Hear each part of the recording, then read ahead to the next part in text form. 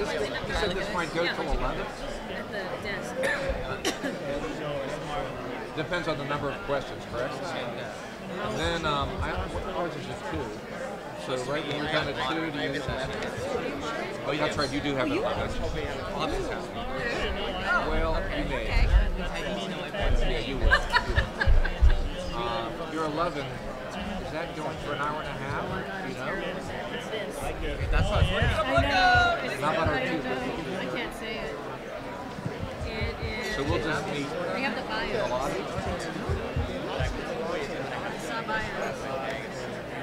Yeah, I will. I guess I'll do it. Oh, come on in.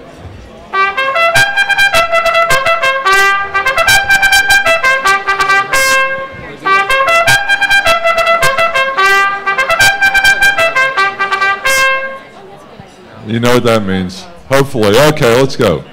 All right, we have a busy day ahead of us. A couple very brief announcements.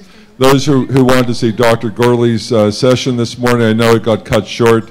We have rescheduled him for uh, this afternoon at 2 o'clock up in the uh, paddock room, which is up on the second floor. And that's the session of uh, classifications by antibodies. Uh, you have evaluations that, that were in your bag when you uh, registered, and uh, one of the evaluations is about hotel considerations. We we look at those very carefully, and we really really spend a lot of time making sure that the hotel that we select uh, can best accommodate the needs of our members. So. Your suggestions and comments there are very important to us, and I hope you'll spend the time to turn those in before you leave. You can mail them back to TMA if you need to.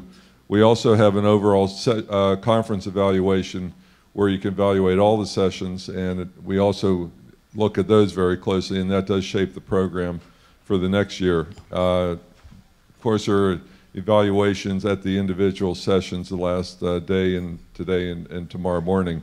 If you want to fill those out, again, they're, they're very helpful to us, and I really uh, hope that you will do that. The other announcement I need to make uh, is that a couple people who participated uh, across the hall in the IBM studies, uh, the folks over there need a couple of you to come back just to sign consent forms. And I just want to uh, ask that Charles Unger, James Bates, Ann Eagleston, Boyd Kimball, and Jill Sondker. Uh, I think, Jill, your session this afternoon, they, they want to move it up because they're going to shut down a little bit ear- earlier. So when we're done here, uh, if you have a chance to get across the hall and take care of that, I know they would will appreciate it. We are going to have our medical panel get underway in a minute here. Before we do that, uh, as you know, we did the 20 for 20 horse contest yesterday, and we saw the Kentucky Derby from uh, 2003.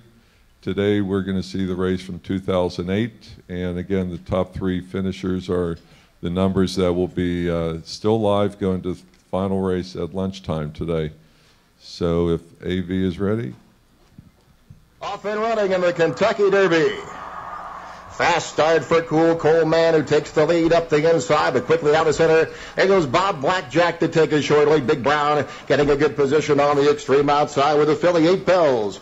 A Thunder past the Twin Spires for the first time. Long shot, Bob Black Jack leads it clear by nearly two lengths now. Challenged on the outside by Recapture the Glory with Adriano and Cowboy Cal. And there goes Big Brown, and he's moving steadily with Eight Belles on the inside and Cool Coal Man. Rounding the first turn.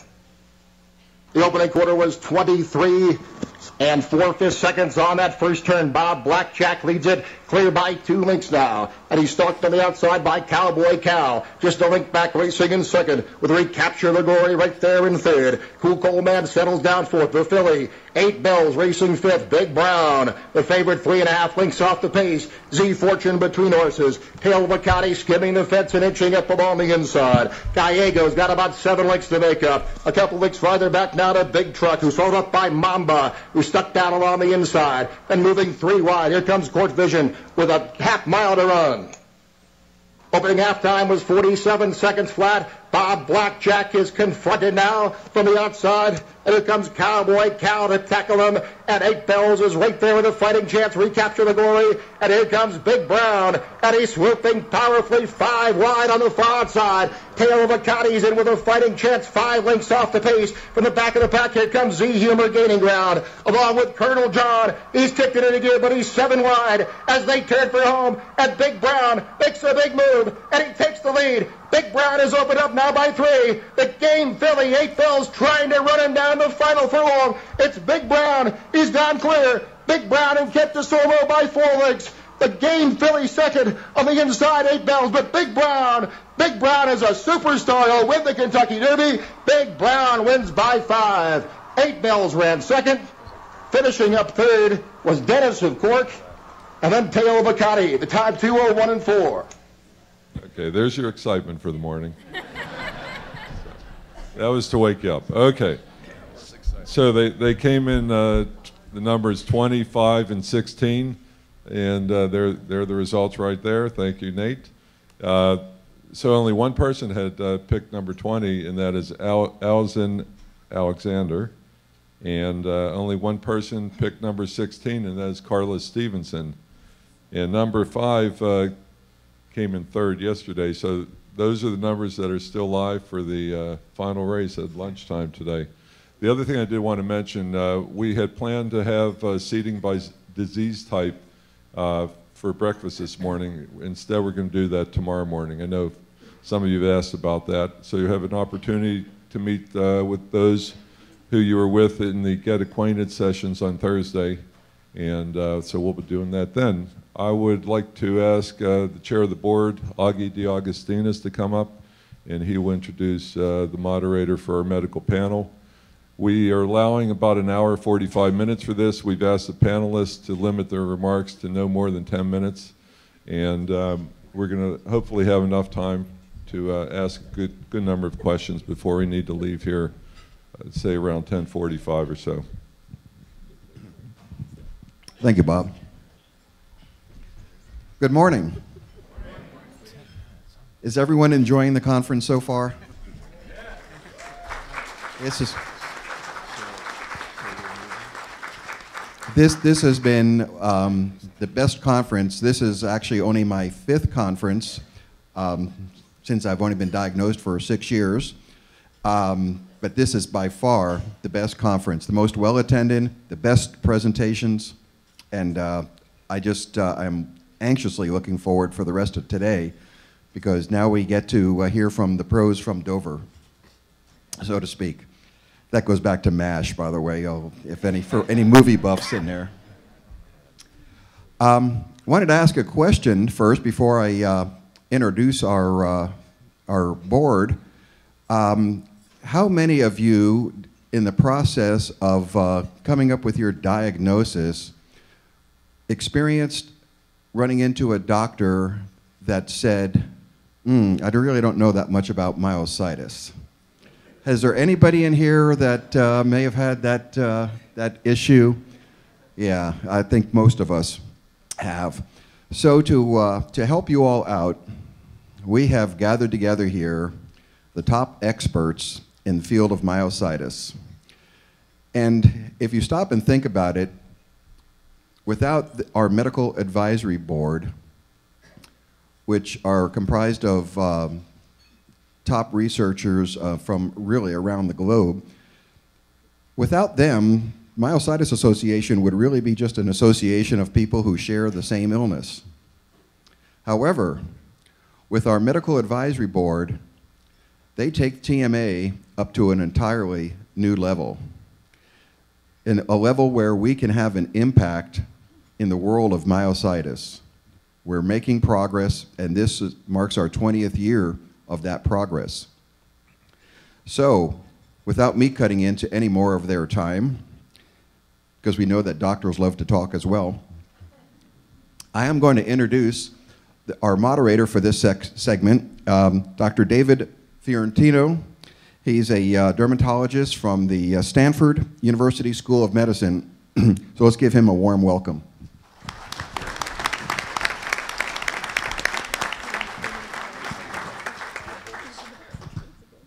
Thanks, uh, thanks so much, Augie.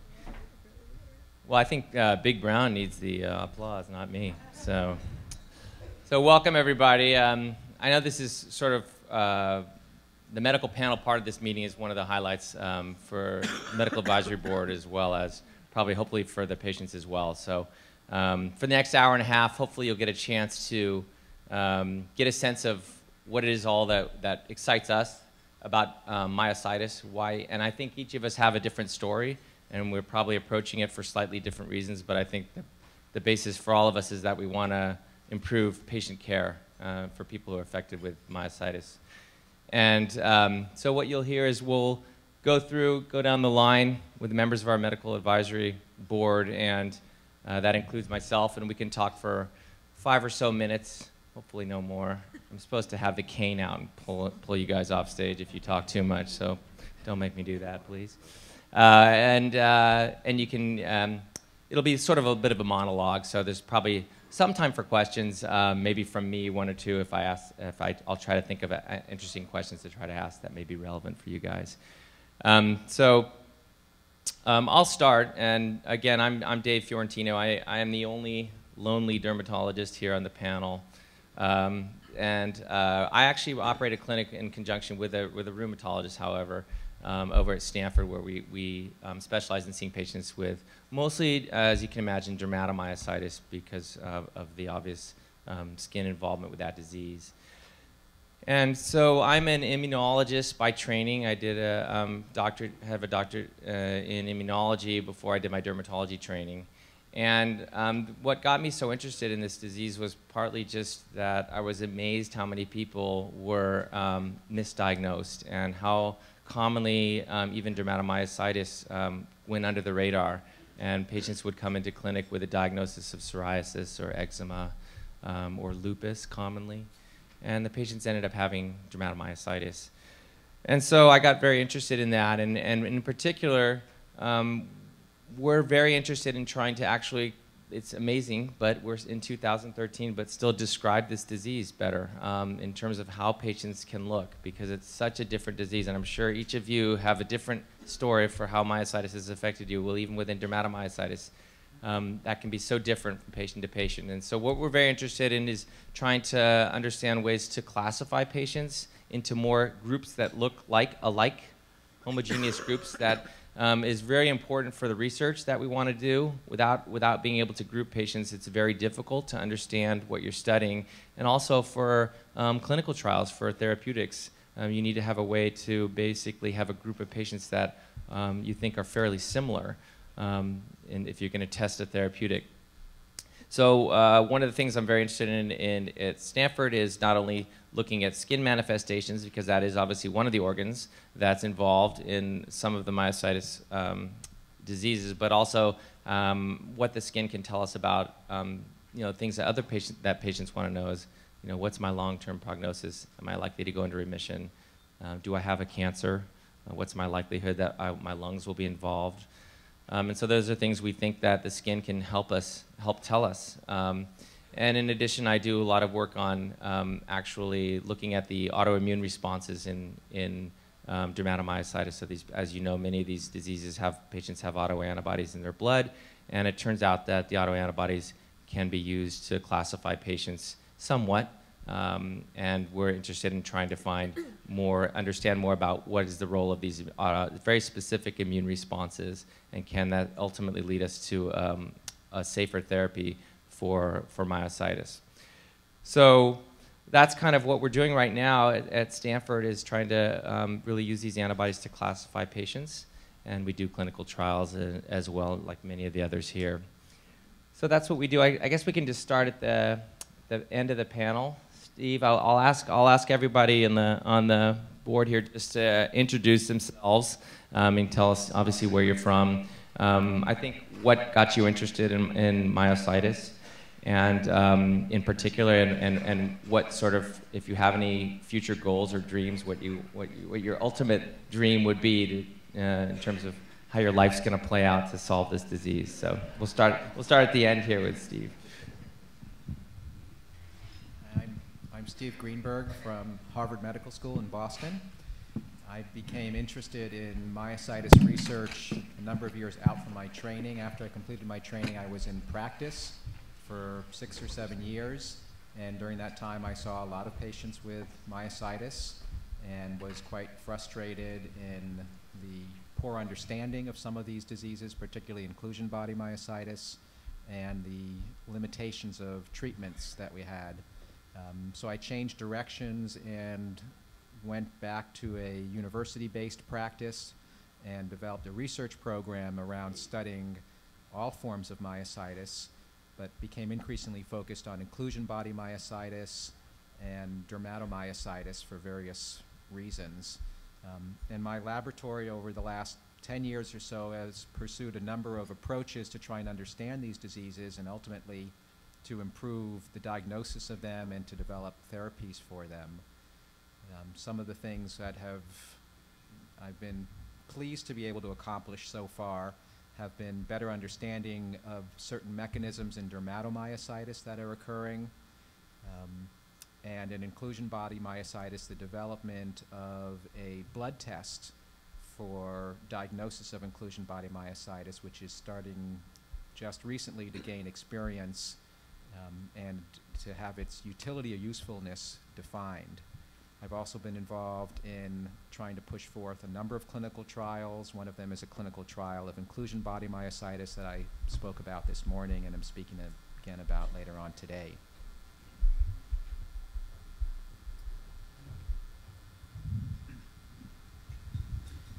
Hi, my name is Rup Tandan and I'm from University of Vermont in the northeast of the country. Some people ask me where Vermont is. Um, I uh, am a trained internist and uh, a neurologist and neuromuscular physician. I direct a neuromuscular program at the University of Vermont.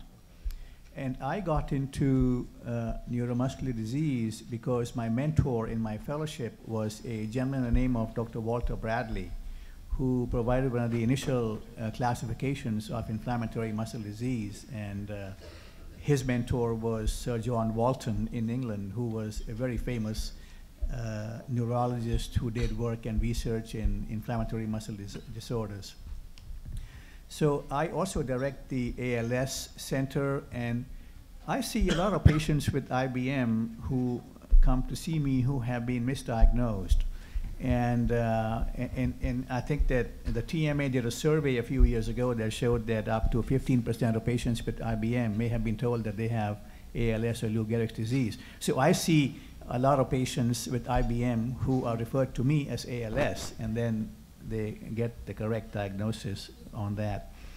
I have a substantial clinical uh, population base of patients with uh, not only ALS but also inflammatory muscle disease. And um, I have been involved in new drug development in ALS, and I hope to be able to take that to patients with uh, muscle disorders as well. Thank you.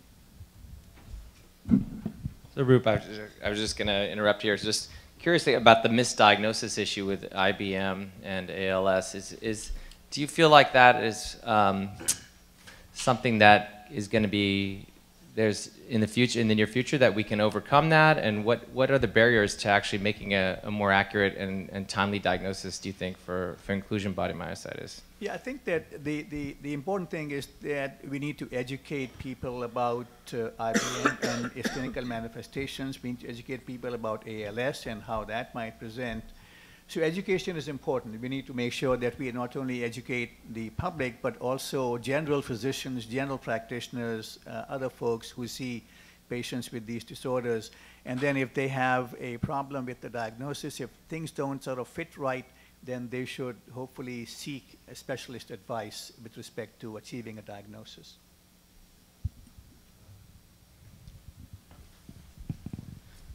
Good morning. My name is Alan Pestronk. I'm from Washington University in St. Louis, and since we're introducing ourselves, ourselves today, the first thing I'll say is go St. Louis Cardinals. um, we, we I, I, participate in a, in a, a, a neuromuscular uh, clinic at, at, at WashU in St. St. Louis where we see uh, patients with all kinds of uh, uh types of muscle and nerve diseases, inclu including many different kinds of um, um, myositis. Um, our, our, our, research group focuses on two areas. Um, one is, is uh, with Chris Weihl and Matt Harms and, and, and, and Tim Miller, the, um, the genetic and, and hereditary possible basis of, of different Im immune and, and, and, and hereditary disorders and where the, the, the group that was, again, for the second time, thank you all, um, collecting uh, saliva samples and, and uh, learning, uh, slowly learning more and more about uh, th that component of the disease. Um, my, my own uh, personal um, interest is, is my thought that um, right now we, we can actually do a lot better in, in, in diagnosing um, these diseases. Uh, one way of doing that, as Dr. Fiorentino mentioned, is by looking at antibodies, but my particular interest is looking at the, um, at the muscle pathology. And it's my thesis that right now muscle pathologists can do much better than, than they're actually doing to make um, accurate diagnoses. And um, my research involves um, looking at muscle biopsies in, in uh, different ways that we can do now that, that it's my theory and evidence that, that we can make better predictions about, um, as muscle pathologists, uh, about what's going to happen to the, to the patient. And as examples of that, um, we can predict by looking through the microscope if you have an, immune or inflammatory myopathy, whether you're likely to have a, lung disease. May, may, maybe one day we can um, uh, predict how likely you are to have um, cancer. Um, we can uh, probably right now predict, uh, just again by looking at the muscle pathology, whether or not you're likely to respond to immunomodulating agents like um, corticosteroids. And in, so in the process of, of, of analyzing the muscle pathology like that, what we're, what, um, we're trying to do is to slowly propose ways that doctors can look at the muscle biopsy in a little bit more sophisticated ways than most pathology doctors look now, and then be more useful in bringing that information um, back to the, the patient's doctors and then to you, to you guys so they can give you better information about what, what how to take care of you. Um, and so again, my, it's my hope for the for the future that with even better ways of combining uh, examining patients, looking at their blood tests and antibodies, and looking at their muscle biopsy, we can um, take care of patients and one day even uh, uh, treat inclusion body myositis better than we do now. Thank you. Can I ask a question now? Can I ask you a question? Just um, so I think that's Dr. Pestronk is, is very understated. He, he's, you're looking at one of the premier muscle. This man has looked at more muscle tissue than, than in an intelligent way than, than I'd say anyone on this planet, and he is got a very sensitive eye. And my question is um, regarding getting more out of. It's interesting that this is a technique, right? We've used for years, right? And, and there's still more to be explored. And, and so I'm wondering um, how much of this is an art um, that you need to, you know, really be, have the experience of someone like yourself that, that, that um, in some ways can't be taught. And, and ultimately, how much, what are the chances that this could become, you know, tests can be developed that are actually quite simple and, and, and make an earlier, better, timely diagnosis just using the right tools? So again, it's my thesis that this is, um, all of medicine is somewhat of an art, but I think that, that most or, or, everything that, that I see through the microscope when we're looking at muscle on Saturday mornings can be taught to other doctors. It's simply a matter of having a, a muscle pathology lab doing the adequate um, number and types of tests on the biopsy when they come in on the in, into the lab in the first place, and then just looking for what the patterns of abnormality are. So um, uh, my general concept is that muscle is not just hamburger. Um, that if, if you look inside muscle, there's muscle tissue, there's connective tissue that holds the muscle together, and there are vessels and different forms of, the, of, of inflammatory and immune myopathies um, attack different parts of the muscle. And, and uh, it, I don't think it, it, it's, it's that complicated to look at the muscle and see what's affected and then make these predictions. I just think it's fascinating that probably people think the muscle biopsy should be something that was perfected 50 years ago, but it's, there's still so much in there, so much information in there if you have a careful eye. So, And, and hopefully skin biopsies in the same way. right. Good morning. Uh, my name is uh, Zarife Sahenk. Uh, I'm from uh, the Ohio State University, uh, Columbus, Ohio. Uh, to be more specific, there's a question, I think. Oh, I'm sorry. I thought maybe there was a question for you. Uh, uh, to be uh, more specific, uh, currently uh, our um, laboratories are located uh, at the Nationwide Children's Hospital Research Center, which is part of the Ohio State University.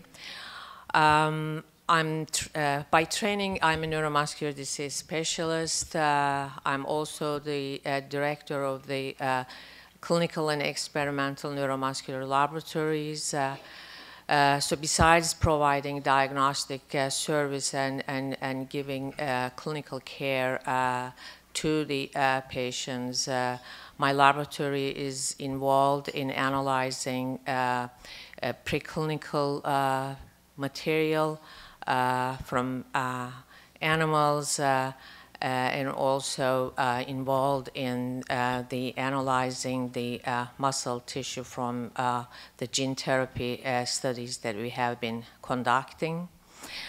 Um, I work uh, with uh, Jerry Mendell, uh, who has been my mentor in the past, and I'm also the co-investigator for uh, FDA-approved uh, uh, gene therapy, uh,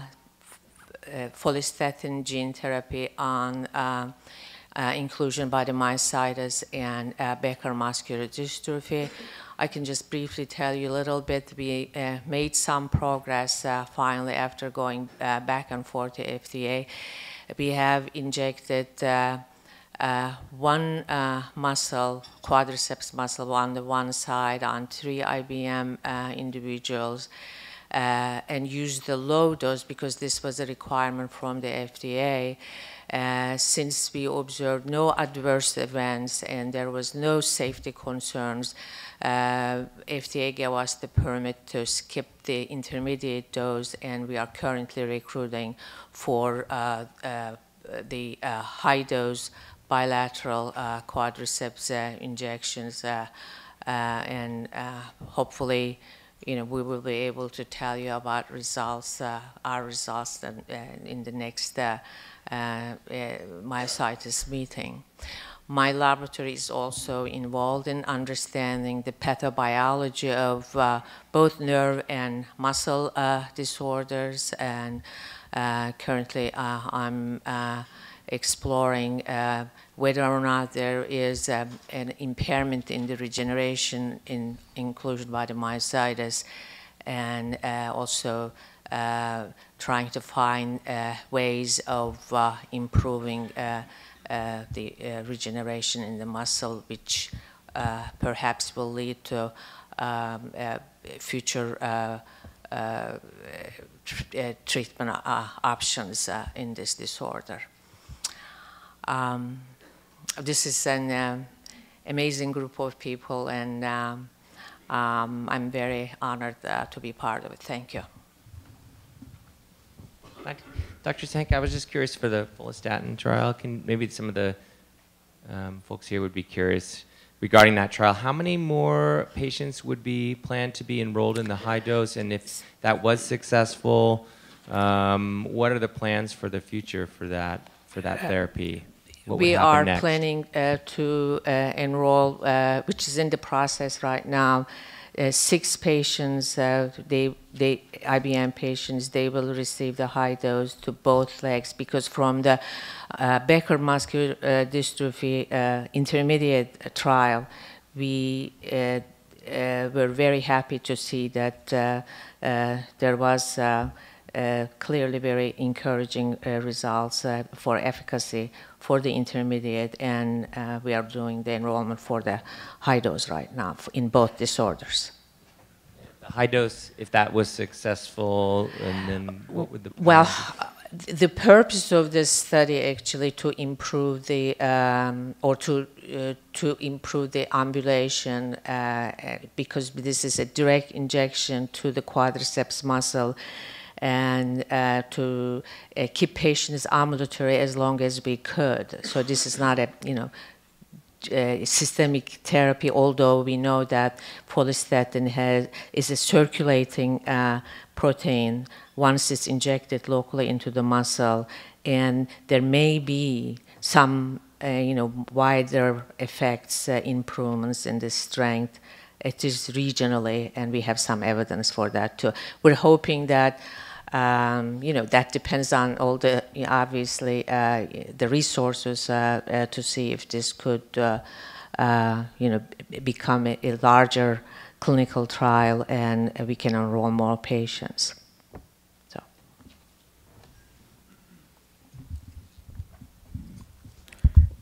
Good morning. I have a very long South Indian name. It's uh, called Kanneboyina Nagaraju, but people call me Raju. So, so uh, I'm an immunologist by training, and uh, uh, after completing PhD, I wanted to work on autoimmune diseases.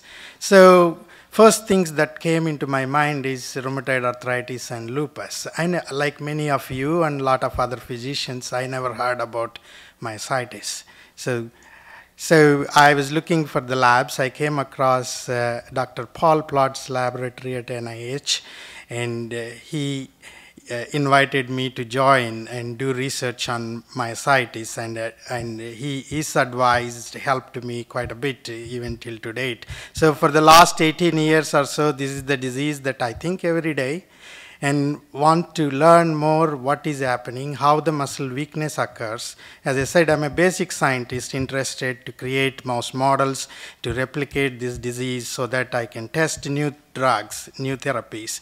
So those uh, experiments in 2008 led to the identification of uh, novel class of drugs, uh, and you all know about prednisone, and uh, it works, but uh, how the side effects are horrible. So almost every organ in the body is affected by this. So by collaborating with a medicinal chemist who worked at Pfizer, so we stumbled on and identified this new class of drugs that we preserve only the beneficial effects and virtually eliminated all the side effects of these drugs. So we did this lot of mouse experiments and uh, toxicity studies, and I'm happy to say that uh, in the February 2014, we will do the safety trials, the phase one human trials with this uh, uh new class of drugs. I'm hoping that one day uh, we will replace prednisone. Thank you.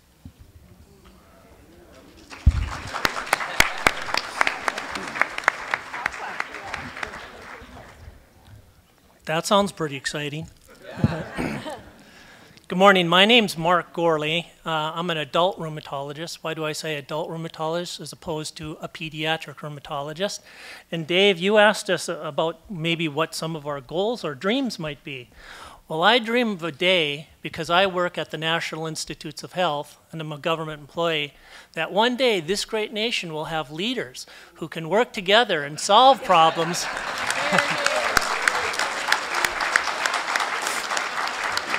and not shut the doors and make us not do what we're here to do, and that is to really help you. So, that said, I the, was the program director of training at, at the NIAMS, the Arthritis and Musculoskeletal and Skin Disease Institute, who trains rheumatologists. But, like Raju, I had a mentor whose name was Paul Plotz. And Paul Plotz has really done a lot for myositis, and he had an offspring, and his name is Fred Miller. Where Fred Miller and I were fellows together. And we, there's another fellow, her name is Lisa Rider. So we all worked together. And one of my personal interests came one day when there's, I think that they might be here, is a, a person came and had what's called inclusion body myositis, something you know about. Well, it turned out there was a large family, so we started looking at the genes of this family, and through this meeting we've identified several other families, and we're interested in the studying the genes of, of those people. Also working with Fred Miller and Lisa Rider, who work with the Environmental Autoimmunity Group, We're interested in studying patients to look at how the environment interacts with your illness. So there are a couple studies you should know. One is if you have the illness and your brother or sister who does not have the illness within four years of age and within four years of disease onset, we'd like to talk to you because we have a billion questions we want to ask you to try to find the answers to the environment and what might have gone on. Also, some of you have this weird disease called synthetase syndrome. And there's a new protocol who wants to find patients within two years of onset to ask you two billion questions about what might be going on, what in the interaction is going on uh, in the environment to cause your illness. Lastly, you should all know what the National Institutes of Health is. It's a large funding agency for a lot of research, but also it's your nation's hospital, and we can provide second consultations there, third, fourth, whatever. And people come and they contact me and we make an arrangement so that you come to the NIH and we put you through all the roles and rigors of being seen to try to come up with an answer for undiagnosed diseases or difficult diseases. And that's all at no charge, thanks to the taxpayers' money. So that's what the NIH does, and, and I'm very happy to be here with you today. And uh, I guess as an aside, sometimes I can serve as a first responder.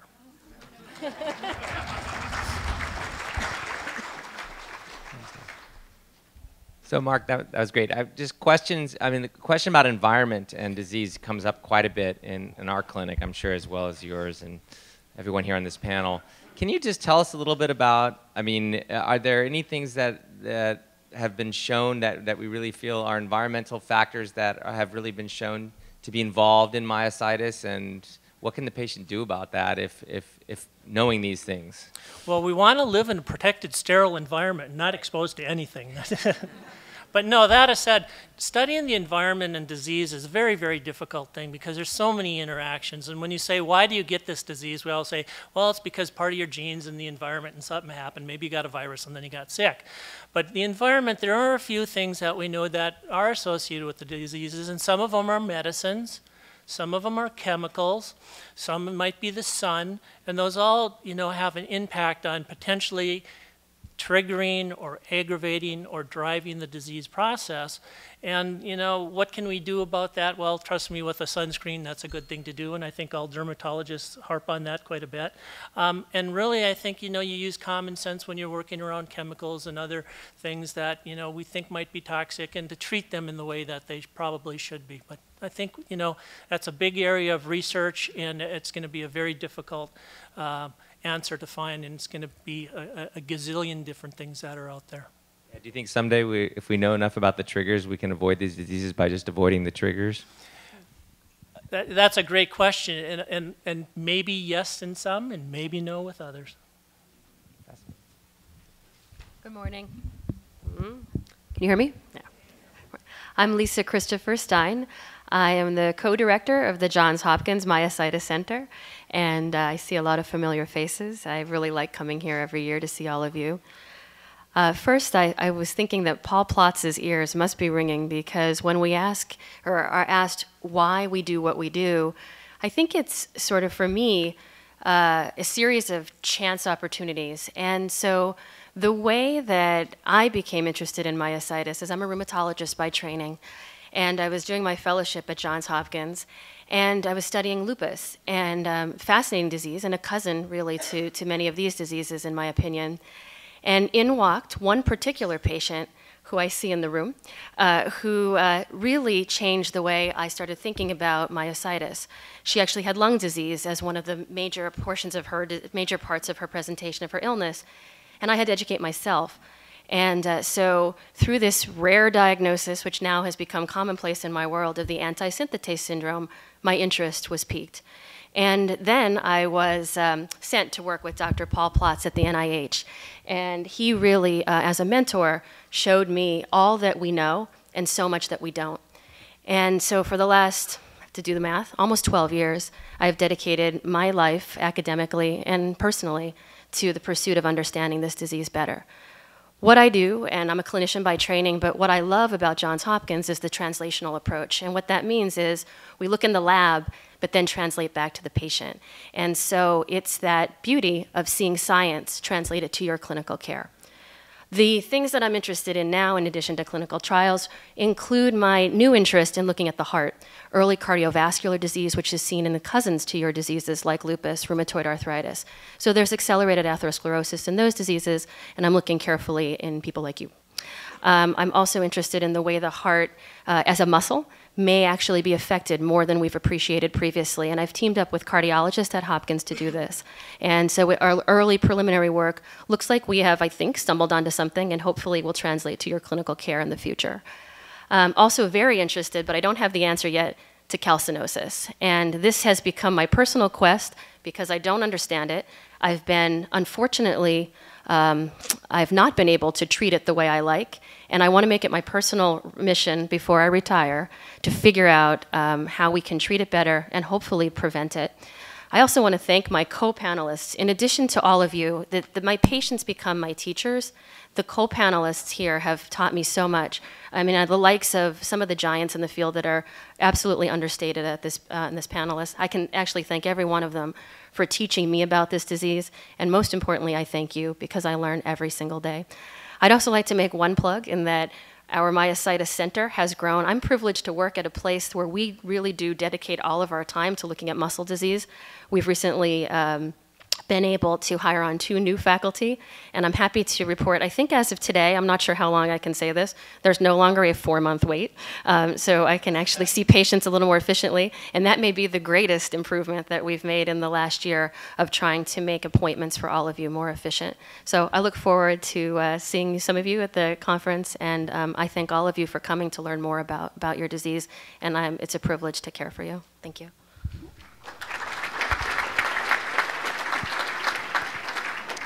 So that's great, Lisa. It's good to have. Two years ago, I was here with Lisa, and she could barely speak. Um, she had some kind of awful infection. I, I, think there was a golf ball in your throat, and it was just you looked so sick. So it's great to see you feeling better. Um, but Lisa is someone, for those of you um, who, who, don't know who, who's trained in rheumatology, but really is, is always trying to overextend herself to understand other specialties, which is really great. I mean, she really became, uh, wants to understand how neurologists look at this disease, um, and how dermatologists look at this disease.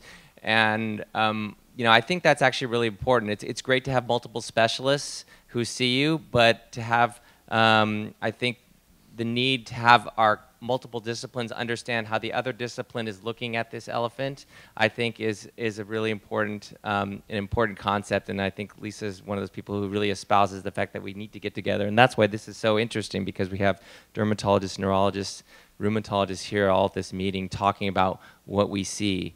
Um, and I just, you know, I want to thank Lisa. And, and is there anything in, in particular, Lisa, do you feel like for the patients, I mean, where you know, that they may be any advantage that you want to say that of having another specialty look at their disease um, that they may be that, that may be giving them an, you know an extra yeah maybe i you know i so I have an unusual lens in that, uh, and, and, I think some of the confusion is that patients believe when they come to our center, they'll necessarily see all of us, which is not necessarily true. In general, it's a rheumatologist or a neurologist, and if necessary, pulmonology, and then all of the uh, other folks like uh, physical therapy, et cetera, that, that see the patient. From my own personal experience, actually, I'll make one comment that the probably the most quoted paper I've written is not in scientific literature, but more of a review, and it's entitled Neurologists Are from Mars, Rheumatologists or from Venus. I did borrow the title.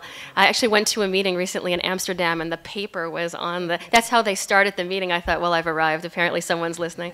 Uh, so I, I think maybe uh, just to say that. It, it, it, might be beneficial at times. I do think that one informs the other. Um, Dr. Andy Mammen, who's the co-director of our center, has taught me a lot uh, about the way neurologists look at the, the, look at the disease. So while I don't have a great answer for who should necessarily see one subspecialist or the other, I'd invite you to try to have them, if you see more than one, to have them speak to each other, learn from each other, and maybe agree with each other, um, which is difficult in any medical specialty. I'm sure you have figured this out. It's true, um, you know, in, in my own discipline. But so I would say that medical science, for sure, I think, is furthered by um, by the the the um, the learning across both of, of those specialties. One, one last example I'll give you is recently at, um, as you may be aware, it's because of the cross-discipline uh, nature of, of our Center for Neurology and Rheumatology. We were able to describe a certain subset of patients who develop an autoimmune form of myopathy that is clearly associated, whether or not it's causal, it's a question, associated with statin use. And it was, uh, you know, there's a large backstory that takes more than two minutes to tell you, but the brief uh, background is that really without the back and forth of the way neurologists and rheumatologists are educated and the way we see these diseases, I don't think either of us would have figured it out. So I think together, a coordinated approach, and maybe as the patient, your job is to try to um, have the rheumatologist and neurologist play nicely in the sandbox, and the dermatologist uh, would be would be nice. Uh, and I'm not sure I have great advice for that, but from a scientific standpoint, it certainly benefits you.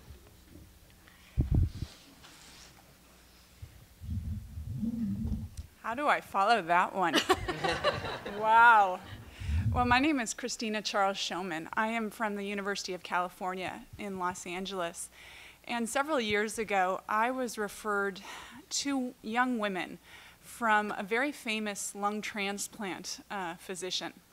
Both of these women were being evaluated at UCLA for lung transplants. And when I saw them, it was a very bad day for me. Both of them had clear histories of dermatomyositis, clear skin findings that had been going on for 15 years. And they had been talking to their doctors, and their doctors hadn't been listening. And now they needed new lungs. And that was a turning point for me.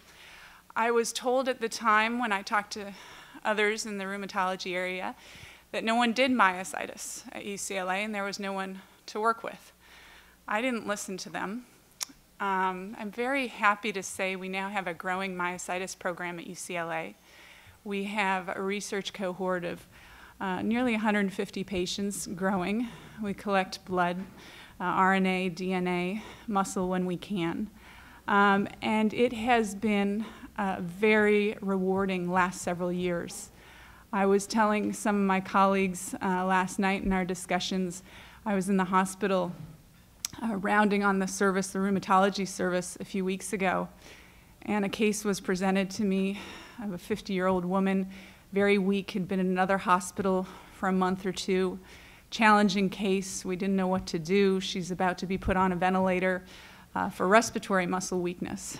We didn't have all the data we needed, but I had the experience from you uh, that it became a very easy case. We treated her. Uh, she did not go on the ventilator. And the joy in the face of herself, her son, her father, uh, that's what makes my day. That's what makes me do what I do. And so I thank you for that and for the life that I lead because of being able to treat you. Uh, in terms of research, the last several years, I've kind of transitioned my research in the area of atherosclerosis to how that might be very useful in patients with myositis. As Lisa mentioned, patients with myositis do have an increased risk of atherosclerosis. And we did some work a couple years ago just asking myositis experts, what do you do uh, with regard to treating patients with myositis and protecting their heart and treating them with statins that everybody's afraid of uh, that are going to hurt the muscle? We found out some interesting things uh, that this can't be ignored, and it's actually most myositis experts don't ignore it. Uh, some things in the lab that we have been doing recently involve the so-called good cholesterol, which is very important in protecting blood vessels. And patients with dermatomyositis in particular have a lot of damage to the blood vessels that may be driving the muscle disease and probably the skin disease. And so we found some very interesting findings that I'm hopeful in the future may lead us to different mechanisms and different therapeutics, again, not prednisone, uh, to treat dermatomyositis. So I thank you all for giving me the opportunity to do what I do.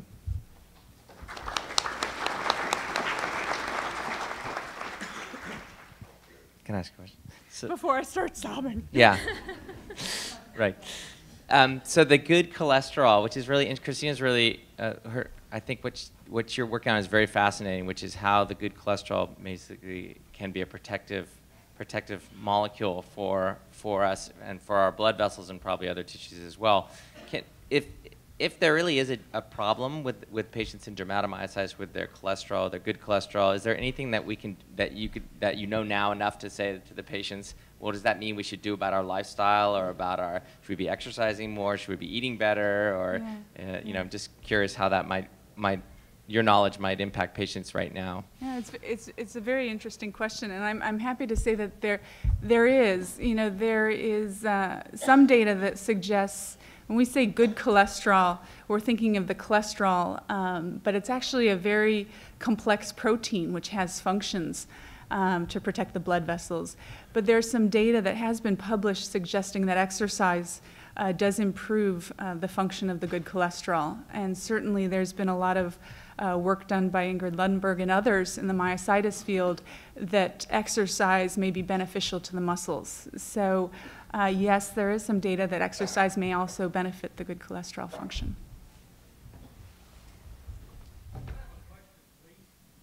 Absolutely. Yep. Um, can you correlate this uh, good cholesterol, dermatomyositis, and ridding the body of free radicals? Can you comment on Well, that's a great, that's an interesting question. Um, so, oh, go ahead. Go ahead. I don't know if you so the question is relating the good cholesterol, dermatomyositis, and free radicals. Um, you know, I don't know exactly the definition of free radicals, but to me that implies oxidative stress and something that I study like called ox oxidative phospholipids. And uh, HDL's job, one of them, is to bind these oxidized phospholipids and get rid of them from the body. And the oxidized phospholipids are very damaging to the blood vessels.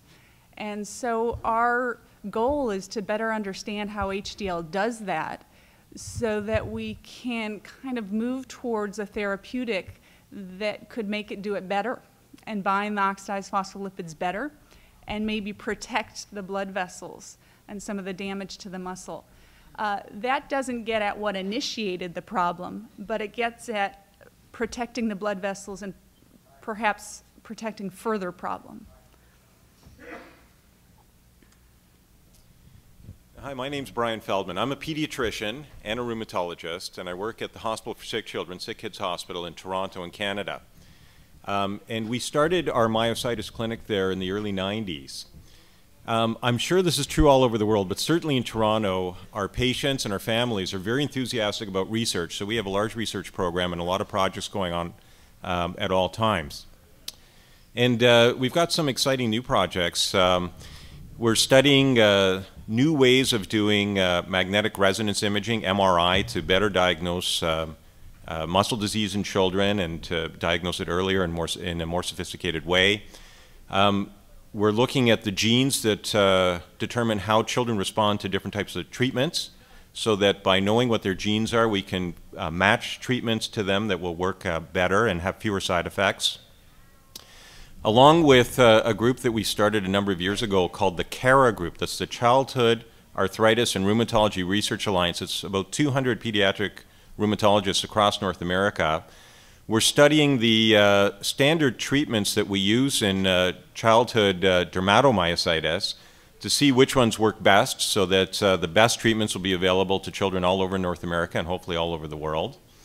And um, uh, most excitingly for us right now is that the Myositis Association has sponsored us to study in children who are doing reasonably well um, uh, but are still weak. We're studying creatine supplementation and using very sophisticated uh, MRI studies and exercise studies to see whether creatine, which is what a lot of athletes take to improve their strength and performance, will um, improve the strength of the muscles of uh, children with dermatomyositis. And uh, thanks to the Myositis Association for that. Um, so we, we're, we're uh, a, very active uh, program in Toronto, one of the bigger programs, um, and uh, very enthusiastic about the work that's being done. I think we're really making big strides moving forward. Thank you.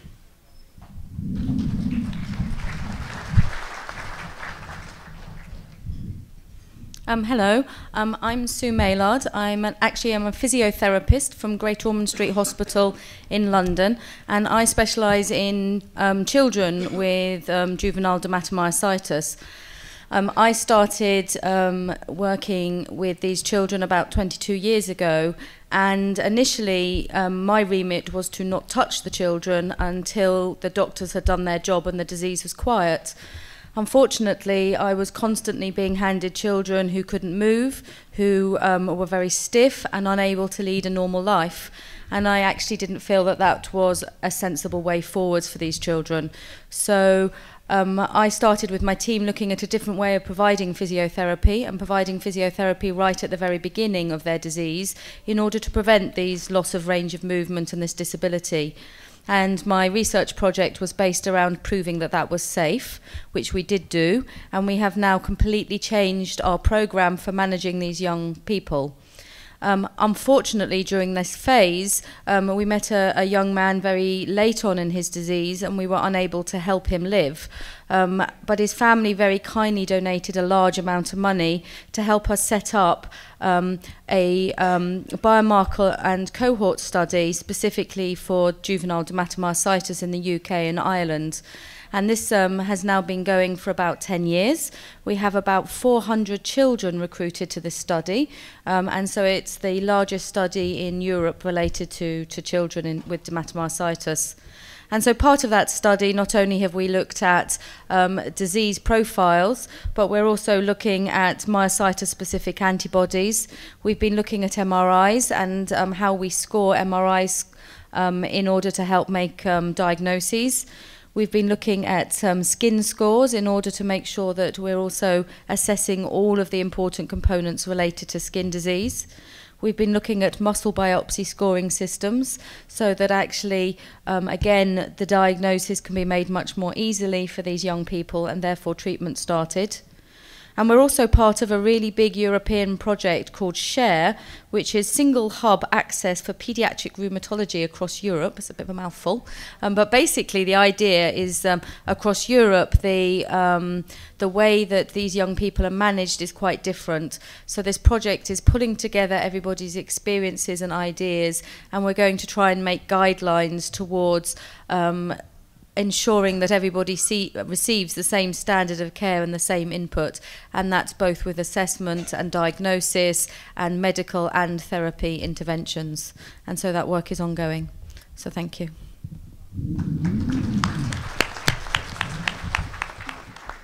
Sue, can I ask you a question about, about um, sorry, just physical therapy, physiotherapy? Um, this is uh, echoing a question that Dr. Christopher Stone asked, similar to what she asked you yesterday in our scientific symposium. But I'm just curious, I'm sure at least we run into problems with this all the time that patients who come from areas where there aren't maybe physical therapists who really understand these diseases that well, are there any resources that patients can access, whether that be on the web, internet, um, that would be uh, ways to sort of access somebody or videos or people, you know, um, just wondering about ways who people who don't have access to a physical therapist that they can basically, um, you know, move forward on some of this, um, some of this stuff, even if they don't have a local physiotherapist who's that knowledgeable in the disease. Or what would you recommend? Is there for those types of patients? I know that's a hard question, but is there any anything that patients can do? Um, um well, somebody came to me yesterday and actually made the suggestion that I worked with the TMA to provide something on the website that actually enabled people to access some information, maybe for their phys physical um, therapist, but also for themselves, because I, I understand that there's very limited resources.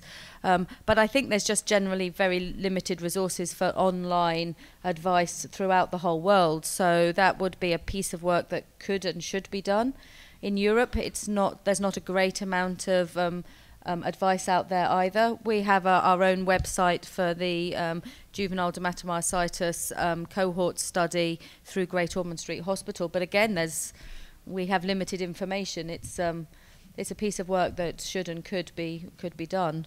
But I guess from my perspective, um, the, the important factor is that there's always two components to muscle weakness. Some of it's your disease and some of it's deconditioning because you can't use your body.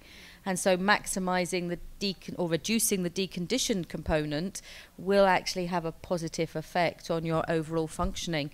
And I think that's often therapists are very scared about doing anything if they don't understand it. And that for me is certainly in UK, the message I'm forever putting out there is don't be scared, try and maximize everybody's individual potential. My name's Steve Ytterberg. I'm a rheumatologist at Mayo Clinic in Rochester, Minnesota. and um, it's been, I've enjoyed, uh, this is the last of my six years on the board. I've got to admit that I've enjoyed all of them being with you. I got into this um, because as a trainee in rheumatology, I happened to end up in a laboratory that was doing virology research. It was a rheumatologist who was a virologist, and my very first project looked at interferon in autoimmune disease, something that was about two, three decades ahead of its time. Um, and then somebody else in the lab was doing some work with a virus that caused muscle trouble in mice, and I sort of stumbled into that project, and it seems how a lot of things happen, that there's serendipity in a lot that, that goes on. Fast forward now two plus decades, and no laboratory, but I'm seeing patients almost all the time and have the joy of seeing a lot of people with myositis. Um, it's been a challenge. Um, I tend to get involved with other people's projects. I help collect blood for people who are interested in studying interferon and other things. Um, the other thing that I do is that I'm the practice chair for our division. And what we try to do is look at ways to expedite and be more efficient in the care of patients. So making sure that as we see patients and are taking care of them, that we're collecting data that can be looked at for studies. And we'll leave it at that.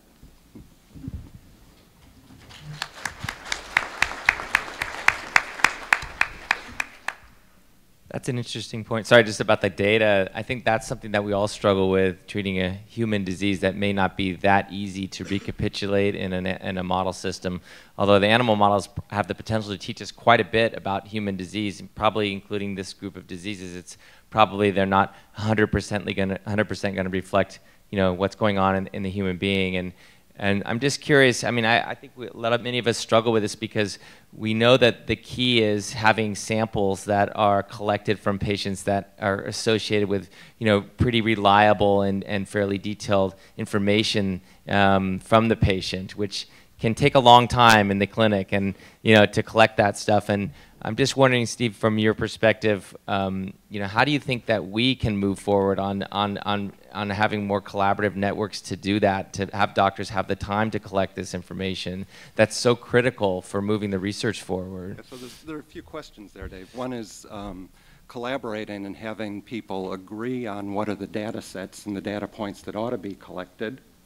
Um, the other is um, what we've struggled with in the individual practice is how can things be done efficiently so that there's a way for standardized questionnaires to be given to patients to have filled out in advance of the appointment, get that data entered into the record or into a database. And so a few different levels of organization. Yeah. I just have patients in our clinics say, why is this appointment taking so long? Why is this an hour and a half long scheduled appointment? Why am I waiting so long? And part of the reason why is because we're trying to collect all this information, and and it does take time, and it makes the clinic uh, a little bit clunky and not so efficient. And so that's part of part of I think the price that we all have to pay um, to move this forward. So I would just so that patients can understand, you know, that that's that's a challenge that we face as well as as physicians trying to treat you. My name is Dana Ascherman. I'm from the University of Miami. Um, I've been there since 2010, and that's after about 12 years at the University of Pittsburgh. But trust me, that's quite enough time with Dr. Oddis. so I, I, I had to move on.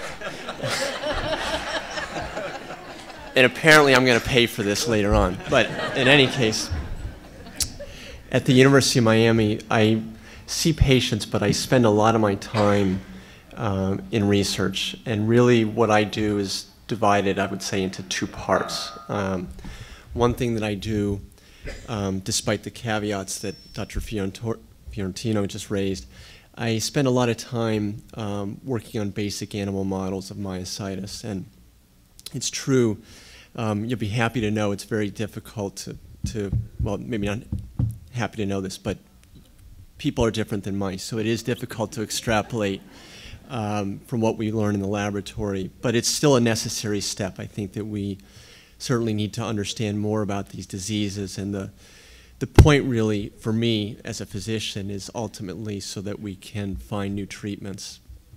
And uh, we have to start somewhere, and these are rare diseases. And so that's the, the necessity. Um, it's sort of a double-edged sword, but that's the necessity of developing animal models. The other thing uh, or area that I focus on is, um, which was raised by Dr. Stone earlier, is, is more translational work. And by that I mean we are looking for better um, biomarkers uh, in the blood so that we um, can identify certain problems in patients with myositis, in particular lung disease. It's a strong interest of mine. And so we're trying to find better ways of not only earlier identification of people who might develop these complications, but um, a better way of following the disease activity um, than just doing CAT scans every six months. And this actually dovetails with um, one of my clinical interests um, at the University of Miami. Um, again, paralleling some of the things that are being done at Hopkins, we have a combined uh, autoimmune interstitial lung disease clinic that I co-direct with one of our pulmonologists. So um, we are, are, certainly investing a lot of effort in understanding this better and, and treating this better because there are no um, real um, sort of gold standard treatments for this complication. And I, I think I'll end up by saying that, that um, this interest of mine in lung disease and other aspects of myositis really reflects why I'm so interested in, in this condition because we always teach our fellows and our residents and the students that this is not just a disease of muscle, it's a systemic disease. But what I think that means for you is that when we as rheumatologists see you as a patient, we're not looking at your muscle or just your lungs, but we're really trying to look at you as the whole person. Um, and we have to consider so much when um, we're dealing um, with, with this disease. As you know, I don't have to tell you that. Um, and no two people are alike. So I, I think that's important for us as physicians to always keep in mind.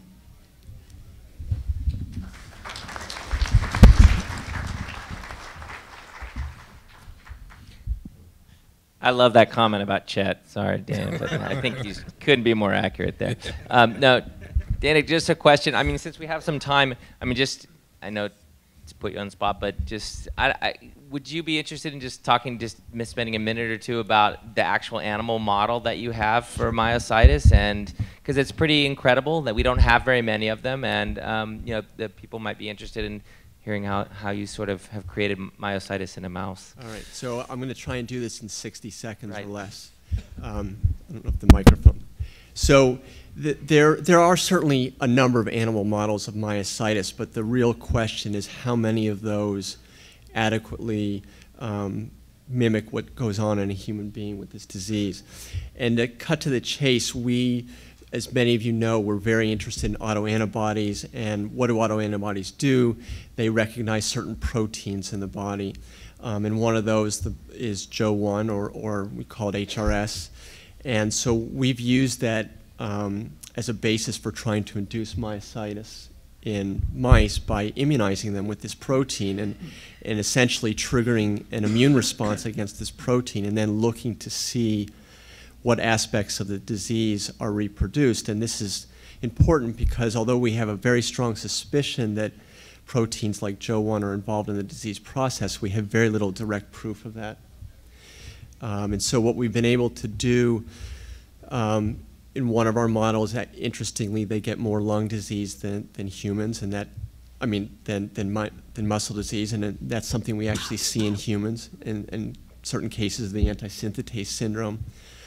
Um, And the other model uh, is really focused more specifically on muscle. When we introduce this protein into muscle, it actually triggers a very exuberant immune response that um, produces uh, relatively florid myositis.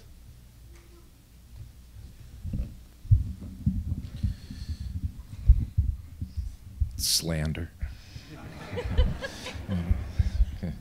All right, so good morning. Uh, my name is Chet Oddis. I'm from the University of Pittsburgh. I've been there quite some time. So I just briefly to say how I got interested in this disease is uh, I was sitting with the division chief, gosh, almost 30 years ago, 84, 85, and I said, well, you know, what do you want to do? I said, well, you know, I'm interested in academic medicine. I take care of patients, and uh, you know, I've been interested in, uh, in, in lupus, and you know, I think that's an interesting disease. He goes, "What about myositis?" I yeah, I was just going to say myositis is really what I what I want to do. So that's so Tom Medsger, who's a foremost scleroderma expert, uh, was the was the guy that was uh, sitting across the desk from me when that happened. So that's how I got interested. It's very honest way of uh, kind of going into a meeting, not knowing what this division chief wanted me to do, but uh, him kind of telling me what I was going to do. And uh, the second thing is that uh, uh, just about the IBM history, um, you know, it's a frustrating disease, and I, I look out into the audience, which has swelled over the last, I don't know, 20 years that we've been doing these meetings, and uh, I've done been to a lot of them, and it's a privilege to to uh, sit and talk to you people. But I remember going into a room. Uh, I don't know. It might have been ten or 15, might have been fifteen years ago, and I couldn't find the chart. It's when we went to hospitals and they had charts instead of electronic records, and I couldn't find. I was with a fellow, couldn't find the chart, and uh, I said, you know, we, we, got this consult, elevated CPK muscle weakness. So I knew, I know, I know a little bit about that. So we'll just go into the room. We'll start talking to the patient. We walked into this room, and this patient was crying and all surrounded the, the bed. She had several different family members. Her husband was there. She was 70 some years old, and you know, and I walked in. I said, "Boy, this is this is awkward. Everybody's crying." And and I kind of introduced myself with a fellow and said, "You know, we're here to to see you." Uh, and, and, I'm sorry, but you know what happened? And they said, well, they just, you know, the doctor just came in and, and, and told my wife that she has uh, ALS, and that you know we have to get our things in order. I said, oh, I'm really sorry. And I, I just felt very bad. The fellow was there, I didn't know, you know, whether to, as we say in Pittsburgh, whether to cry or wind his watch. But uh, we start, I start talking to her, and, and within one minute, I knew that she didn't have ALS. I knew that she had inclusion body myositis. And it was very interesting that to, to, to, to really, and it wasn't, it wasn't, you know, I'm not, it wasn't a difficult diagnosis to make. And, and we kind of said, you know, maybe we ought to rethink this, and we're to, we'll come back in a day or so, and we'll, we'll have somebody else talk to you. And you know, the bottom line is that, you know, this patient in, in that very short time period uh, had been given a devastating uh, illness, a diagnosis, and didn't have that, didn't have ALS, and she went on to, she lived. Uh, I mean, the last time I saw her, she was doing fairly well. She was 81 at that point. Obviously, you don't you don't often live nine years with uh, with ALS. So it's, it's a good example of how things can be misdiagnosed or delayed in diagnosis. Third thing that I'd like to say is that um, I was at a conference uh, also back in the early 1990s, and I had um, a call uh, on a, uh, you know, or a message at the conference that a patient of mine was quite ill, and and then it was shortly thereafter that another patient became ill and died, and and a, a third patient that showed up in the emergency department that had a so-called heart attack with an elevated CK, and they said that she had basically heart failure from her heart attack. The bottom line is that these are three patients with the Jo1 autoantibody that I was taking care of uh, for a, a, short time period that all died uh, rather precipitously and dramatically with lung disease uh, because of the Jo1 autoantibody. And, and we wrote up that, uh, that article 20 plus years ago on what's called adult respiratory distress syndrome related to this antibody, where you can get a devastating response and die rather quickly. And I can tell you that over the past 20 years, I've a lot of my time is in dealing with lung disease, and we have a weekly conference with our pulmonologists dealing with interstitial lung disease and its effect on patients with, uh, uh, with myositis and, and other connective tissue diseases. So it's, it's the, you know, and, and I've been involved in clinical trials, and I don't have to sit here and I don't want to tell you all the things we've done and all the collaborations with people uh, in the, uh, on these uh, sitting at this table right now. But uh, when you see something for this long a period and you sit in conferences like this and you stand up in front of smaller rooms with people asking very uh, pointed and difficult questions, uh, it does become a passion. It becomes something that's a part of you. And uh, having dealt with this over the years and seeing the lung complications and all the other things that occur, getting emails from physicians and from all over the country and world that struggle with people, particularly those that have acute illnesses leading to lung involvement, it really does become uh, a passion. And all, all, I can say is that there's a lot of people up here that, that are sitting here that have a lot of different things on their plate, a lot of different family responsibilities and you know trying to get research funding and trying to take care of patients and teaching doctors and and, and when you get to the point where you have a, a passion for a disease, you really have that as the major thing on your plate. And it, and it takes away from a lot, a lot of other things that, uh, that we need to do, but it really becomes something that we're totally and wholly dedicated to. So, you know, I, I appreciate the opportunity always to talk to, to, to uh, groups of patients like this. And uh, I really appreciate the opportunity to, again, sit and talk to colleagues who have uh, dedicated their lives to this.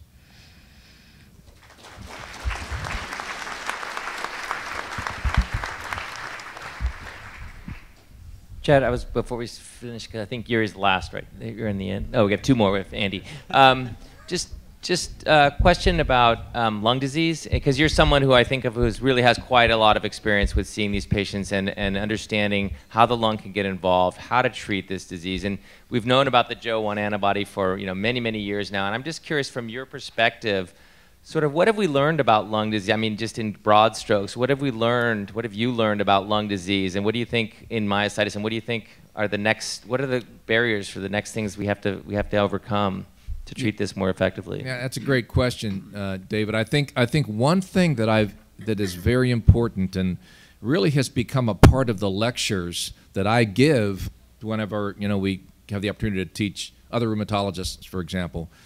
I really let them know the importance of autoimmune interstitial lung disease and how it can be missed.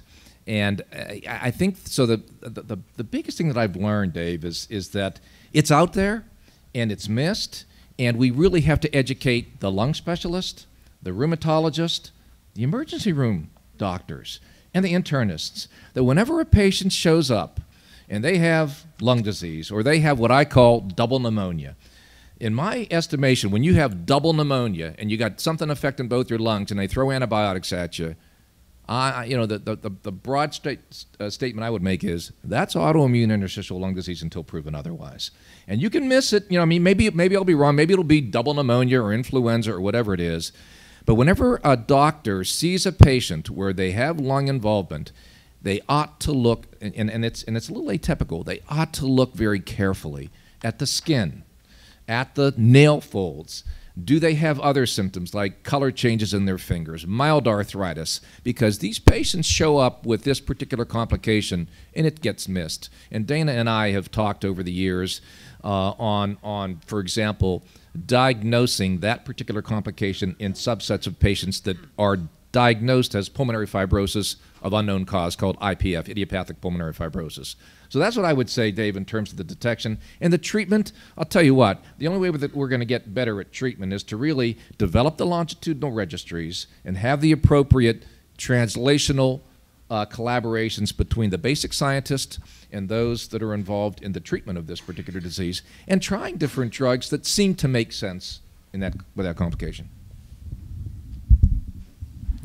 So, good morning. Uh, my name is Jiří Vencovský, and I'm a rheumatologist. Uh, I work in the Institute of Rheumatology in Prague, Czech Republic. And we, this is the institution that is affiliated with uh, Charles University in Prague. And uh, we, this institute uh, functions kind of a national institute for rheumatic diseases.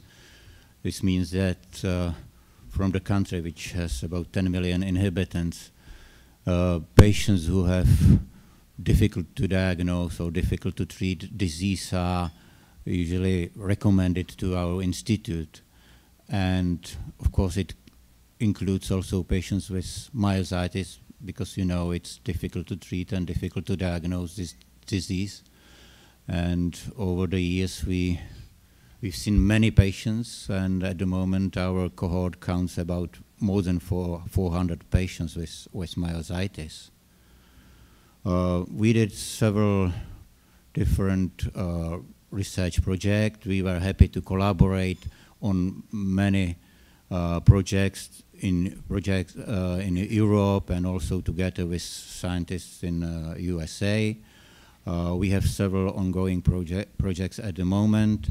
Uh, just to mention a few, we, we recently finished a, a study in which uh, we did a comprehensive evaluation, evaluation of arthritis that is associated with, with myositis. As you know, many patients have arthritis. It sometimes even uh, precedes the manifestations of, of, uh, um, of uh, muscle, uh, of myositis as muscle weakness.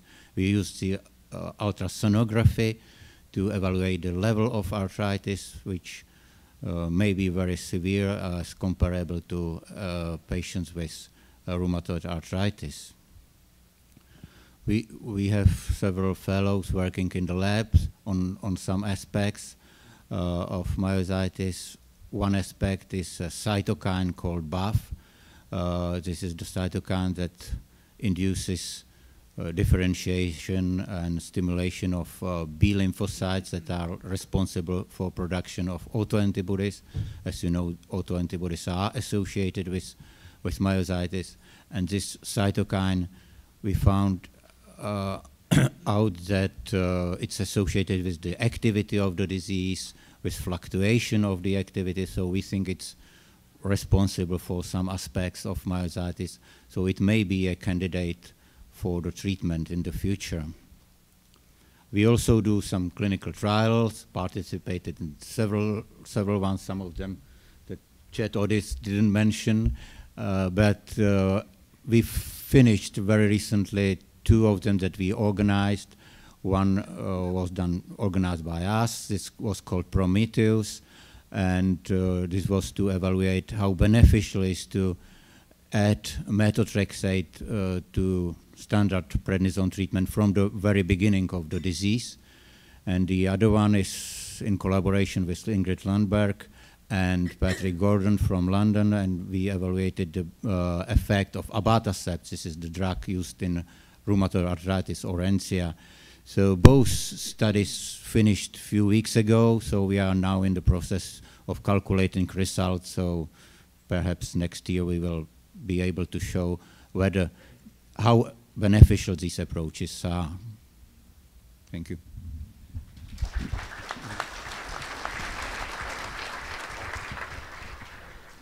I guess since we have a time, I'll just ask one question about the this molecule, the the BAFF protein, um, because I think that's quite interesting. Your work on on BAFF and as a potential marker for this this disease activity in myositis, and obviously becomes more interesting since we have a a therapeutic that's on the market that actually interferes with um, BAFF that's approved for lupus. So I'm just curious, um, can can you expand a little bit about on what what type uh, would these be all myositis patients you find with the BAFF um, that is dysregulated, or are there certain subsets of patients that you think might be more appropriate for trial for this medication that interferes with BAFF?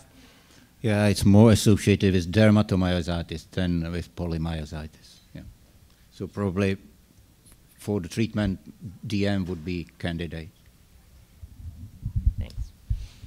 Hi, my name. I don't know. Try this one. Uh, my name's Andy Mammen. I'm uh, with Lisa Christopher Stone at Johns Hopkins. Um, I trained there as a neurologist and as a neuromuscular fellow. And during my fellowship, I had the opportunity to see um, several patients who had myositis.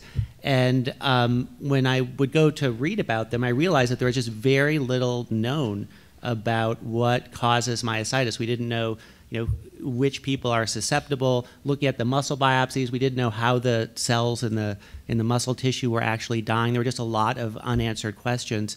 And also, there were in neurology very few people, really nobody doing work um, on autoimmune muscle disease. So uh, it seemed like a, a, good little niche to, um, to go into to try and work. And with Lisa Christopher Stone at the Myositis Center, I've had the opportunity to see a lot of patients.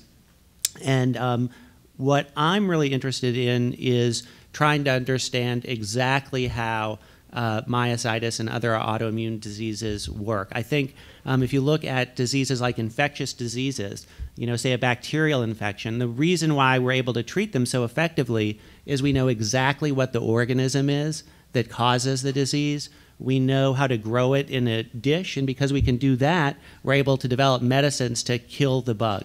And we're really not at that level of understanding as far as what causes autoimmune disease and myositis. We do have some clues. We know that there are genetic susceptibility factors, that not everyone is equally susceptible to developing the disease. And we also know that there are environmental triggers. And I think this was really driven home to me in clinic when I saw a patient who had absolutely clear cut florid dermatomyositis, had had it for a couple years, and she had an identical twin sister who did not have the disease. So, you know, as a real living proof that there are, there must be um, you know, environmental factors that that cause it. And Lisa uh, Christopher Stone and I have been working on um, a group of patients who seem to have statin, I would say, triggered um, autoimmune muscle disease. It's maybe five to ten percent of our patients, um, and we've been able to identify not just the um, environmental trigger, but also we now know that they have a specific genetic susceptibility factor. So about 75% of those patients have one gene um, that's only found in about 5% of the rest of the population. So we're now using this um, uh, group of patients to try to really understand in, in a real detailed way how the autoimmune response um, is triggered in those patients, um, how it's maintained, and how we can uh, treat those patients. We hope and expect that the things that we learn from studying this group of patients are going to be generalizable to other patients with myositis and also patients who have other autoimmune uh, diseases.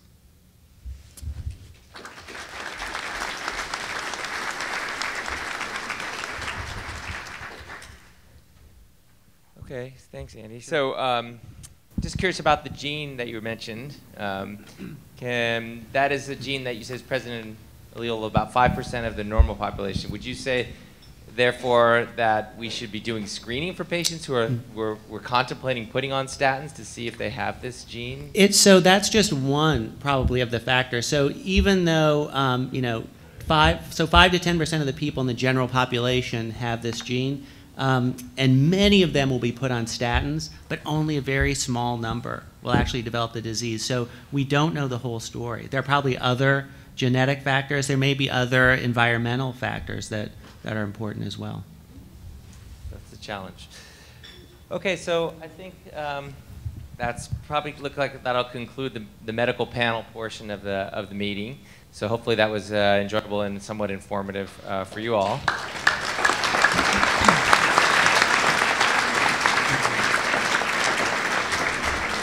I want to thank you all for, for your interest, for coming, and thanks to the whole panel um, for providing their time. So we'll see you in the breakout sessions. Anything else, Bob? Yep. We're not let, letting you go that easily. So ha have a seat, Dave. Okay. This is our part of the uh, program. Okay, so we have time for questions. We have about 25 minutes. And so if you have uh, a question, put your hand up. There's a microphone circulating. We're going to try getting to as many questions as we can. And uh, okay. Um, wait, hold on. Okay, uh, Dave, if you want to direct the question to the appropriate person, that would be great.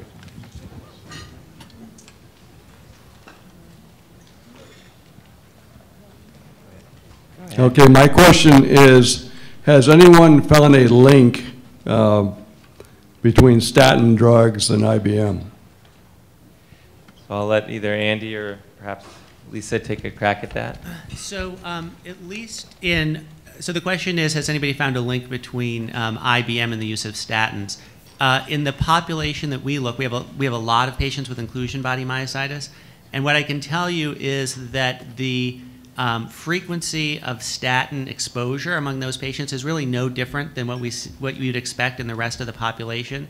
So we don't think that there's an increased risk uh, of developing inclusion body myositis with statins. But we don't know that for sure. We don't know exactly what effects statins have on uh, patients who have muscle disease. But so far, we found no reason to think that statins trigger IBM or that patients who have IBM should not be on a statin. We think they, that these are actually really good drugs, and uh, probably unless patients with inclusion body myositis get put on a statin and clearly get worse or develop some flare that then goes away when the statin is stopped, that would be the only situation in which I would you know, think twice about using a statin. I don't know if anybody else has any other perspective on that. Hello? Uh, I'd echo that. The only thing I would add is that I think just observationally, patients that tend to take statin drugs tend to be a bit older. And of the people in our cohort, if you look across age spectrum, obviously inclusion body myositis encompasses a slightly older well it, it, does for sure encompass an older patient population.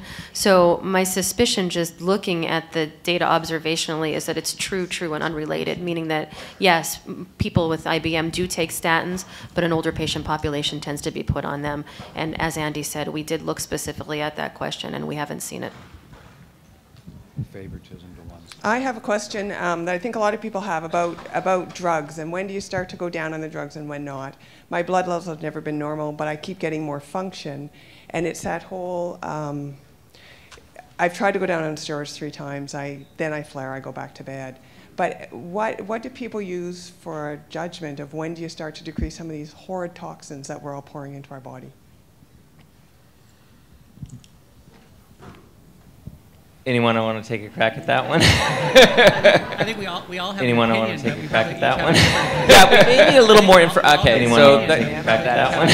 yeah, but maybe. So I guess it's if you're like if your blood numbers, my CKs always stay high, my function starts to get better. I'm I'm working four days a week now. I'm able to do some heart raising exercise, not a lot because I don't have the greatest lungs. But um, so when do you start to think about taking the you know, right now I'm on Rituxan, Cellcept, and, and prednisone. And when do you start to think about reducing some of that cocktail?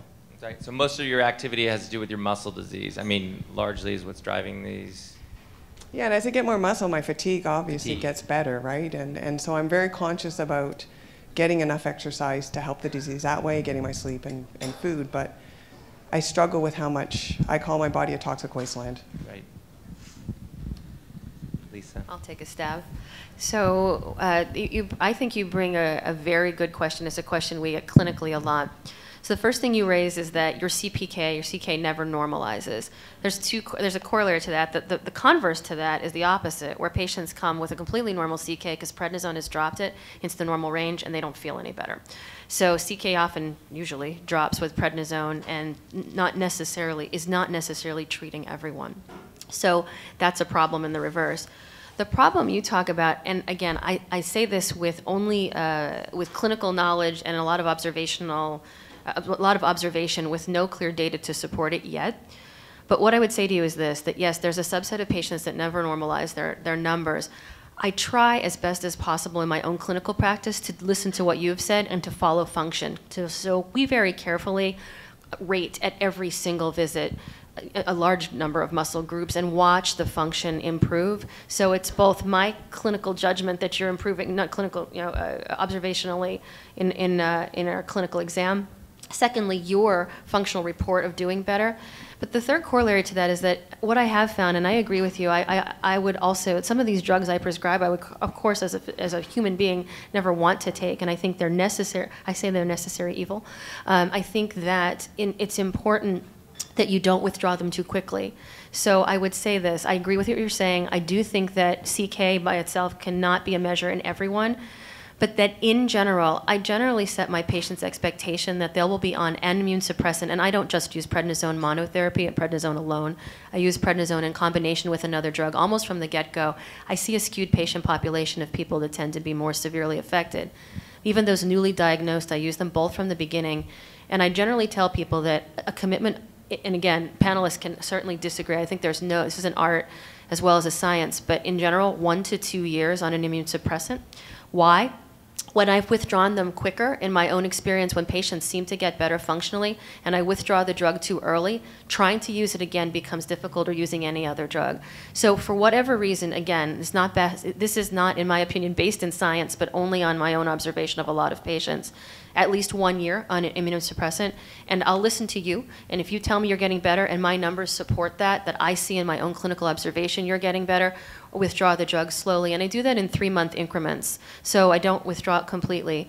You also have a unique situation in that you've taken rituximab, which has in many people a very long lasting effect. In some of my patients, it lasts three months, and many of them, it's lasted 18 months to 24 months, and that's rare. But so that also is sort of covering you in the background, so you may be able to withdraw your mycophenolate or CellCept a little earlier in, in, in that regard. So I hope that touches on some of the points you've asked, but I, I just caution you with getting too exuberant and withdrawing too early the, the therapy because in my experience, it is harder to treat if you, if you withdraw it too early. That being said, being on drug for seven years because you have a CPK of 350 is also, I think, inappropriate.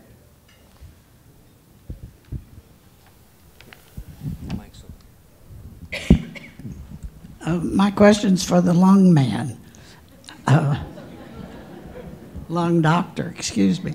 Uh, a new appellation for Dr. Oddis. this is great. I, uh, the, the best education was that my PM was triggered by a flu shot.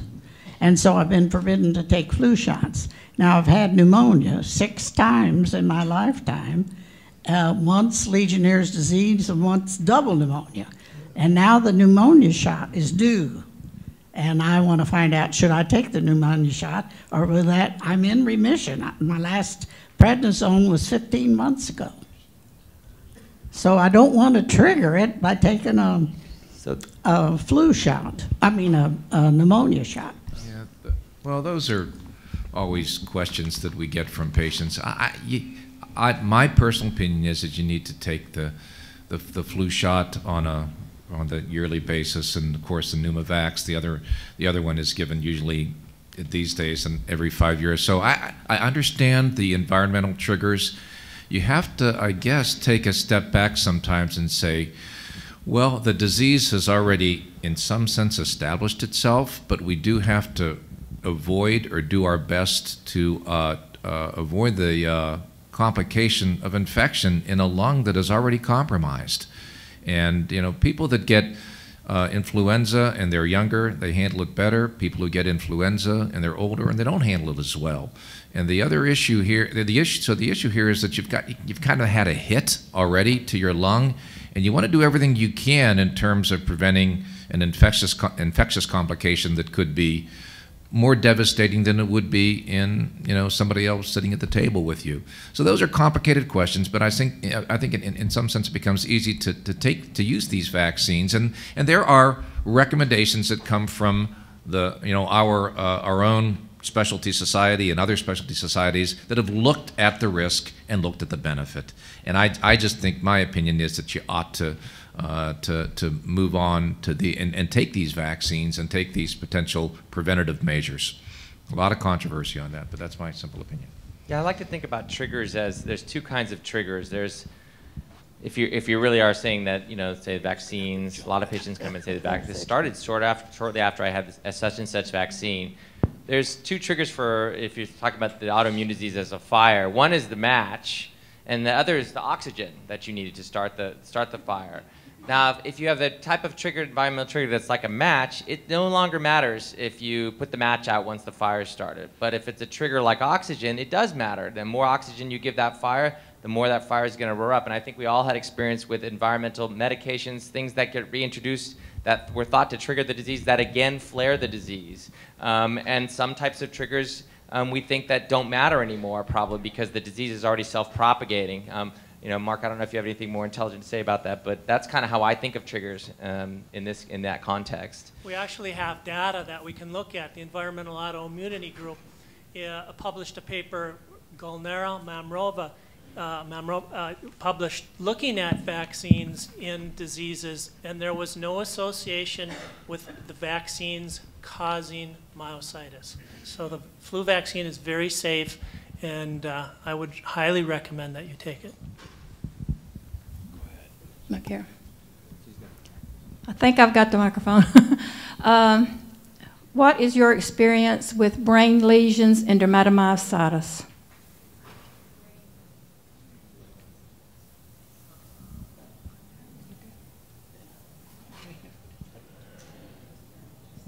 Mine are none, so I'm just looking around. More specific question? Yeah, I mean, maybe is it. Can you expand on that a bit? Um, possibly overlap of lupus.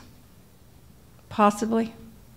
So they don't. They haven't definitely said. You're having symptoms, neurologic symptoms, which I, I did, and I had uh, MRIs, and it was proven I have short-term memory loss, but mild short-term memory loss from lesions. I see. And did the, did the, are your physicians telling you this may be related to your autoimmune disease? Uh, they think maybe it's overlap of lupus. Hmm, which is another very difficult thing to diagnose from yeah. from a brain scan. But I wondered if it was prevalent in DM. Evidently, it's not. It's not. Uh, no, that, I think we can safely say that that is not a prevalent thing we see in DM. So I think you're, you're hearing many of us are wondering about is there something else going on that may be okay. explaining what, what they're seeing on the scan. Okay. Do, do you know? Can I ask you, do you know if you have something called uh, anticardiolipin antibodies, or have they worked you up for blood clotting antibodies yet? No, I have not been. I, I'd, I'd, probably ask you to see if there is somebody local to you that deals specifically with lupus. So what you describe is not unheard of in lupus. The overlap between lupus and dermatomyositis is rare enough. In that particular situation, I would believe we would have seen it more if it were common. You have mm-hmm. a lot of panelists, and we have you know a, a, over a thousand patients. So I think it's it behooves you to see a lupus specialist somewhere, either near you or not near you. And if you need any assistance, let me know. All right, thank you.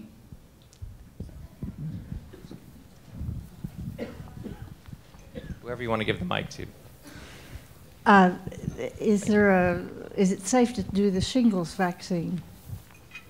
Is it safe to do the? Is it safe to have the shingles, shingles vaccine. vaccine? Okay, good question. Shingles vaccine. Anyone want to take on the vaccine issue? We kind of talked about this a little bit. So the shingles vaccine is a relatively new vaccine.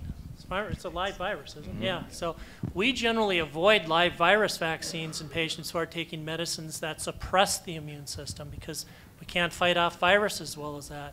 So unless you're off medications, particularly prednisone, imranese, um, those kind of things, we, we generally don't give that vaccine. The, the, so, the American so College of Rheumatology actually has issued uh, guidelines on this. So if you take less than 20 milligrams of prednisone, you or are on methotrexate alone with or without less than 20 milligrams of prednisone, it is deemed to be safe. I can tell you experientially, my patients have gotten the shingles vaccine on that combination with no issue. I am seeing more and more zoster, more shingles on the therapy we use.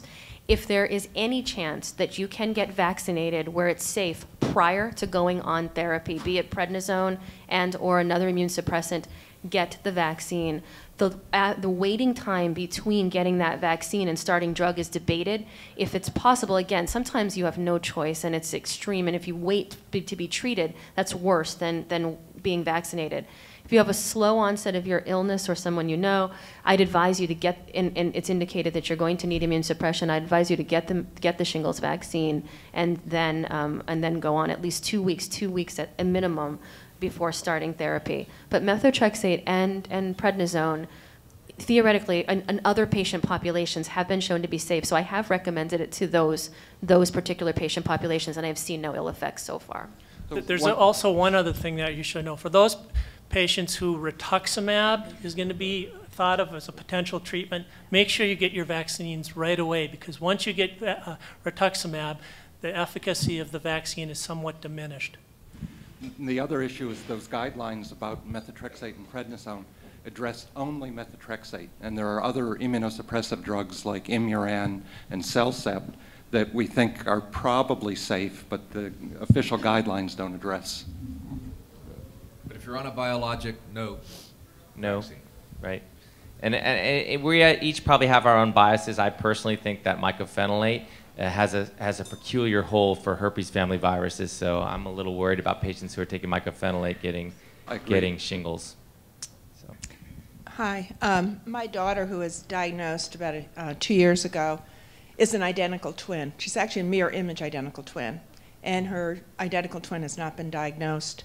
Um, she, they've had different exposures, environmental exposures over the past few years.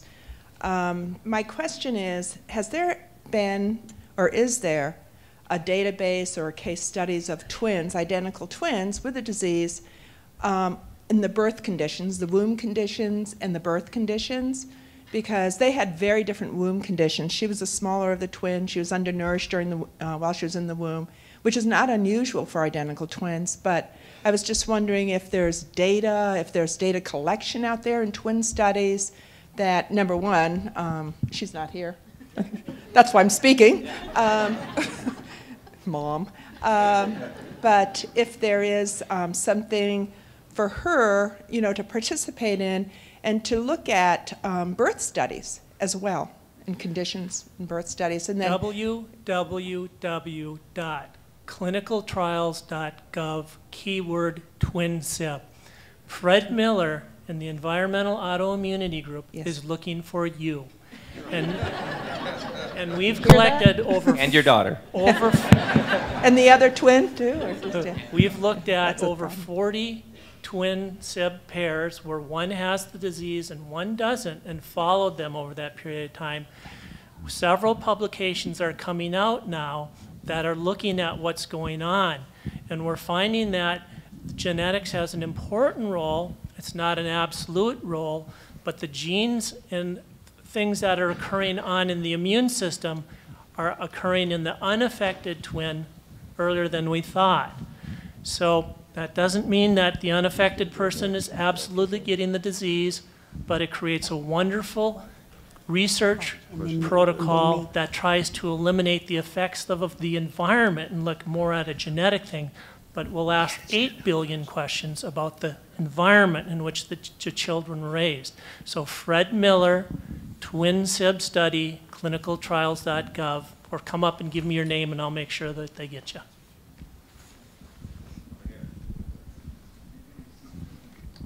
Good morning. Earlier I heard you speak about you like to collect samples. Um, 1997, I had a biopsy, and it took uh, six weeks to get the pathology report back because they had to send it to three different centers because they didn't know what they were looking at. And it's presently in the basement of the hospital, and I'm fearing it's going to get thrown out. So my question is, would you be interested in anyone in this room getting a hold of their pathology samples and sending them to you guys?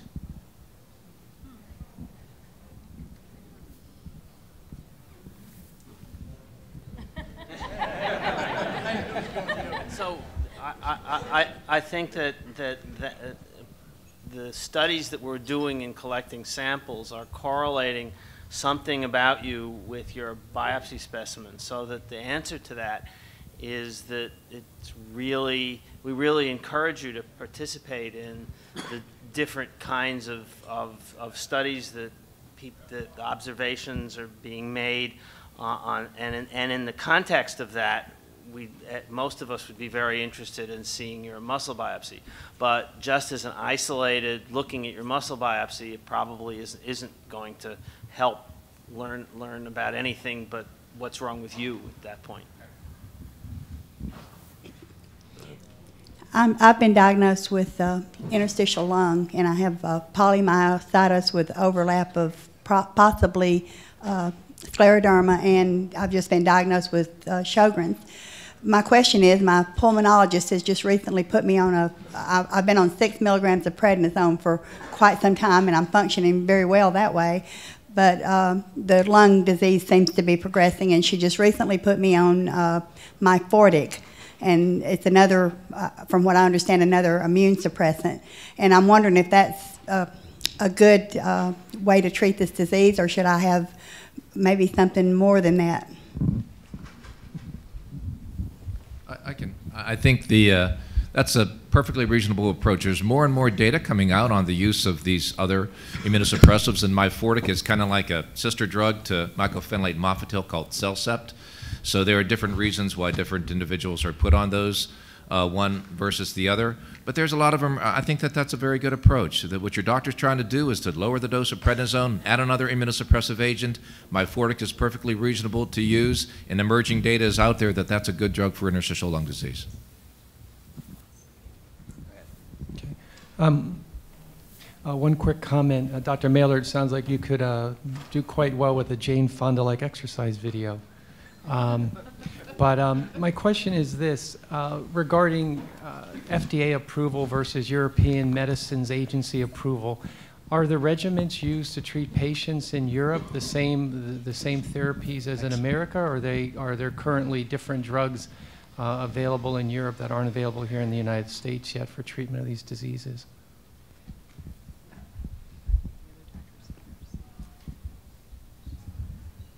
I'm not aware of um, any differences, and uh, I, I, think it depends on the country. For instance, intravenous immunoglobulins that are used relatively frequently in this country, it's very rarely used in our country.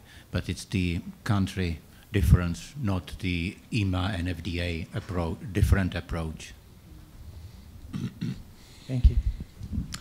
Uh, first, thank you all so much for being here this morning. Uh, you all need to know how much we appreciate you and, and the work that you do for us.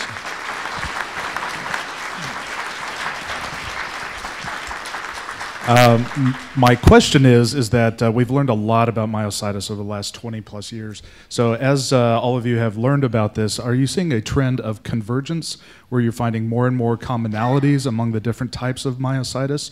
Um, are you seeing commonalities with other diseases like ALS? Or are you seeing uh, divergence where each are becoming more specialized in uh, as different types of diseases? Along with that, uh, do any of you have an opinion uh, about uh, hereditary IBM being a distinct and separate disease? David, you answer that. Looks like Alan wants to answer that. Uh, it's my it's my opinion that it's very important that um, each patient's specific diagnosis be treated as a specific diagnosis, and that it, that these diseases, especially at, at the end of your question, the idea that hereditary inclusion body myopathies be considered different from the, the sporadic diseases, but, but it's becoming, I think, more clear to a lot of us that each specific uh, myositis or inflammatory myopathy syndrome has different features, needs to be treated differently, and and so th that you need to.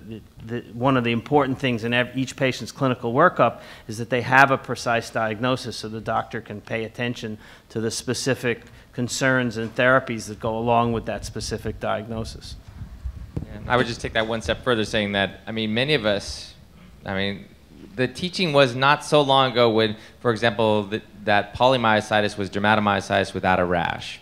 And I would say that now uh, we really understand these diseases at the muscle level are really qu quite different. And even I would take your question, your comment a step further and say even within the disease that we call polymyositis, dermatomyositis, there is a substantial amount of patient heterogeneity that actually needs to be dealt with. And um, so your, your, your answer is I think they're becoming more different, and even within the diseases, we're, we're discovering important differences in patients among those diseases that probably need to be grouped and dealt, dealt with separately for many reasons, for research and for, for clinical trials. Excuse me for one moment. I've dealt with this for 16 years. This is my first conference. I only met one other person with DM in July. I can't let you get away without asking you this. I have dermatomyositis with severe calcinosis. I have met one other person, Debbie here, who has the exact same severity that I have. Could we have a subset of uh, another type of myositis that changes the, the paradigm on this entire disorder? Uh, I need some answers. I'm not leaving here without some answers about this. It, it, the calcinosis is throughout. our lower bodies. It's extremely painful. It comes in sheets. It's like granite, and it has a sharp edge like a scalpel. Please help us.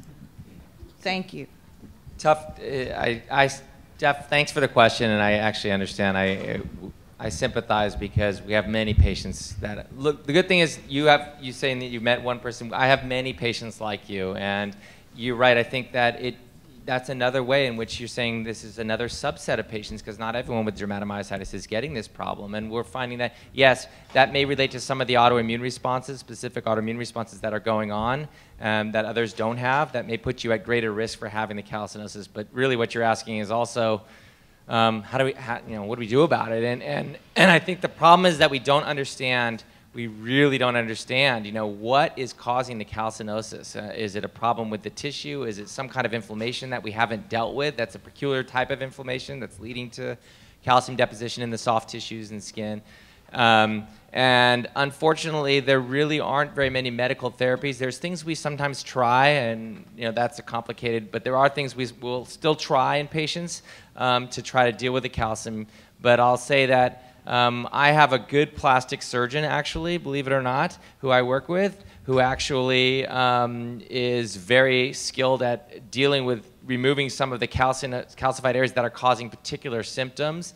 And a lot of people will say, well, they'll just, the calcium will just come back if you take it out. That's a risk, but um, that's not always the case, actually. And I actually find that surgical, if you have the right surgeon that you're dealing with, that actually can be a good adjunct to dealing with some of the, dis the discomfort with the calcium. But we have huge strides we still have to make with understanding why is, are people just depositing all this, you know, this calcium in the tissue.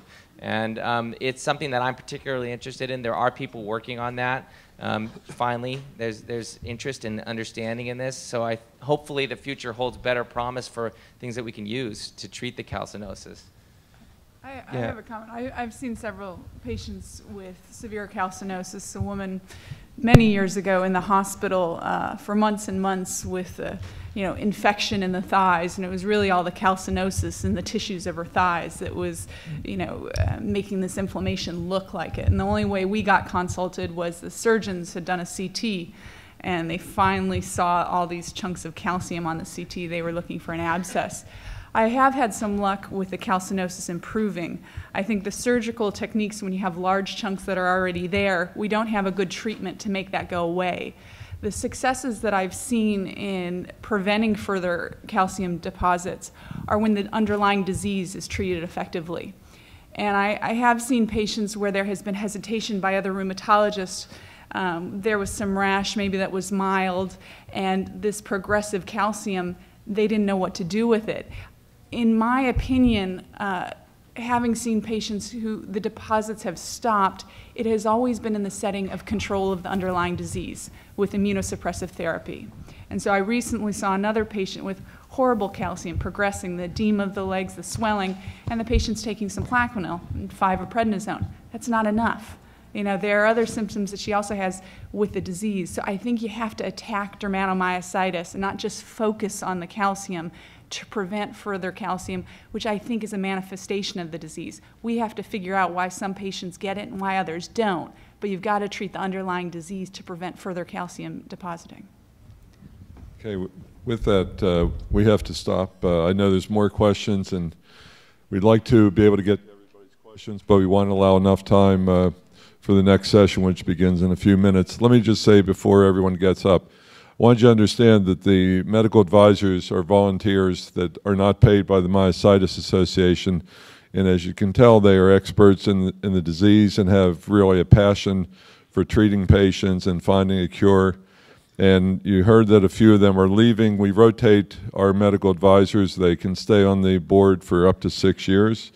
Four of them are rotate. Four of them up here right now are rotating off next year, and we elected, uh, or they elected, replacements uh, yesterday at the Medical Advisory Board uh, business meeting. So you're going to see some new faces next year. And I just want to express my gratitude to them.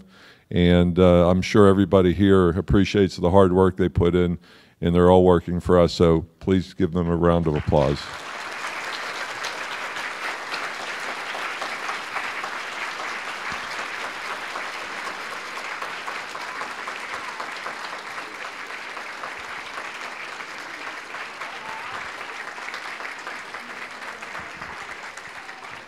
Thank you.